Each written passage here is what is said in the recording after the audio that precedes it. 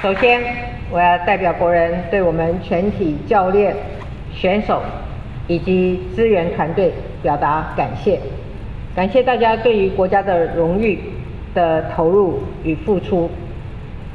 看见大家精神饱满，我对大家有满满的信心。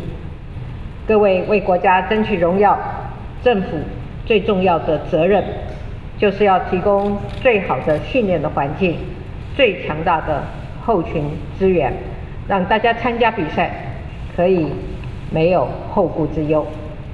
现在行政院已经核定第三期的国家运动园区。整体新设与人才培育计划，要为大家打造一个更优质的训练的环境，有好的设施跟好的场地。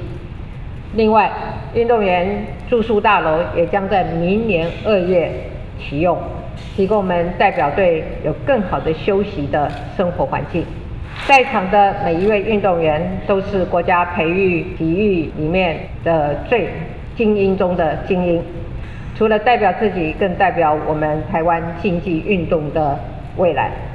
过去有许多优秀的选手，都是在四大运的赛场上突破自己，证明自己，成为一个世界知名的选手，让世界看到台湾。